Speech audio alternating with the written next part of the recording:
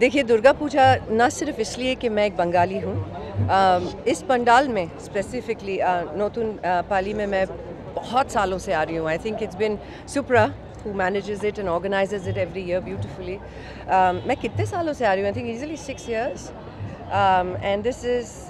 every time we start this हमारे घर में एक तो नौ दिन के लिए दिया जलता है